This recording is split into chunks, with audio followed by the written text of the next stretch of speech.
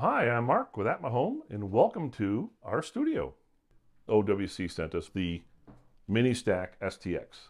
And this thing here, when we got it, I'm like, well, what am I going to use it for?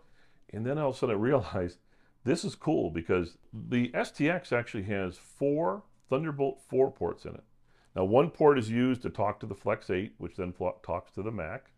And we used another port to connect up to this monitor over here. So that allows us to drive the monitor. Now, there's two more ports, and get this, I've got attached to one of them, I have a Samsung T7 SSD, and this sucker is really fast for a portable SSD. So he's hooked up there in case I happen to have data on there, or let's say I want to put the data on there and bring it somewhere else. It's very easy to slip in your pocket and away you go. So that's the STX as far as ports are concerned. But inside the STX is what's really interesting. One thing you can do is you can put a single M2 style SSD in there. And so they also, inside of this, when they did it, they sent us an Aura Pro 4 from OWC. So this one here is two terabytes in size. Well, the really cool thing is, is that I want to be able to back up the Mac. Now we use CrashPlan to back up the Mac remotely, but you can also use CrashPlan locally to have it to your own disk drive. So if you do have to restore, it's faster than waiting to come over the internet. We also have Apple's Time Machine.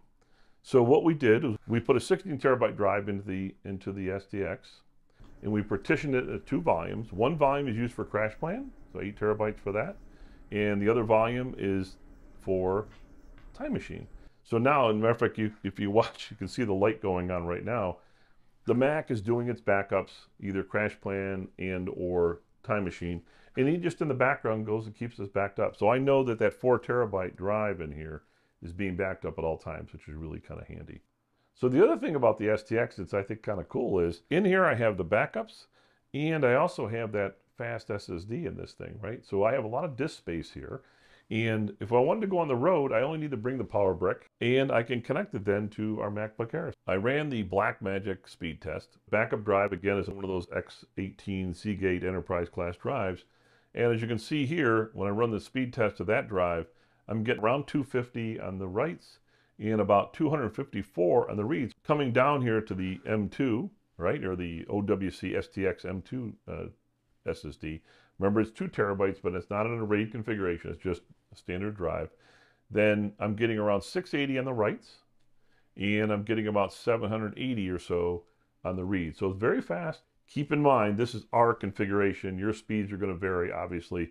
Thank you for watching.